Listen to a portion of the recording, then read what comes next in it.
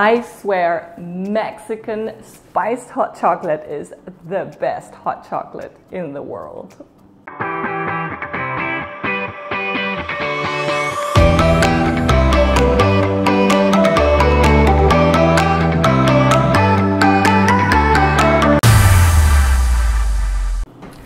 What's up guys? Welcome back to my channel. Today I'm going to show you a very special recipe. It's a Mexican spiced hot chocolate and it's a hot chocolate that is usually served around the Day of the Dead or Christmas in Mexico. It has lots of spices like cinnamon and clove and vanilla bean and anise star, and it is sweetened with raw sugar, piloncillo, that's what they call it. Um, different Latin American countries call it different names. I'm going to um, list all of those names in the description so you can go to a store and ask for all those names. It's basically the same kind of raw sugar. And the base of the hot chocolate is a very thick hot chocolate that you make with just water so you can then mix it with any kind of milk. So it's perfect for a big Christmas party where you might have some dairy intolerance, some people that love almond milk, some people that love coconut milk, others that only drink cow's milk. This way you have a water-based, very thick hot chocolate syrup, so to speak, that you can then mix with any kind of milk you prefer.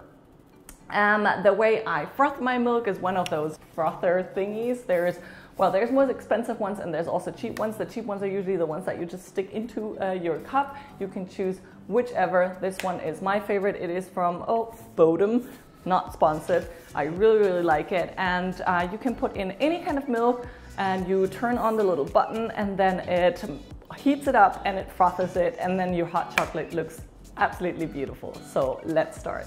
We begin by cutting open a vanilla bean lengthwise so all the seeds can come out when you cook it. You add that vanilla bean to a small saucepan and to that same saucepan you add the piloncillo, two sticks of cinnamon, an anise star, two cloves, half a cup of raw cacao, and two cups of water. Give all that a quick stir and then put on the lid and let it simmer on low heat for approximately five minutes. This will speed up the uh, sugar dissolving. The sugar takes quite a while to dissolve. And then after those five minutes, you remove the lid so most of the water can evaporate and the hot chocolate becomes more syrup-like and really, really thick. It takes quite a while for the water to evaporate and the hot chocolate to become thick and syrup-like. So be patient before you start fishing out all the spices. Takes 15 to 20 minutes to get to this consistency and that's when you want to fish out the spices. That's when you want to fish out the vanilla bean and the cinnamon sticks and the anise star and then fish and fish and fish around until you find the cloves. An easier way is probably just running everything through a sieve and that way you would just have everything in the sieve. Then either leave it in the pot or transfer everything to a nice carafe so you have it on hand for when your guests come over. And to prepare the hot chocolate, you add about a quarter cup of this syrup-like hot chocolate and you top it off with hot milk. Give it a stir if you want to. Sprinkle some cinnamon on top, put a anise star as decoration and serve. Cheers!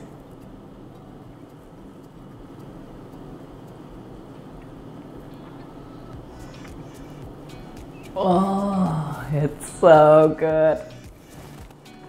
It's so delicious. I hope you give this recipe a try. You have to try it. Make it for Christmas. Make it every winter night. Holy cow, it's absolutely delicious. I had forgotten about it. I haven't made it in quite a while. I have forgotten how delicious it is. Oh, please try the recipe. Uh, I hope you enjoyed this video. If you did, please give it a big thumbs up. Subscribe to my channel for more recipes like this one. And if you try the recipe and you like it, please snap a picture, post it on Instagram, tag me. I want to see, I want to know how you liked it, and I'll see you with my next video. Bye.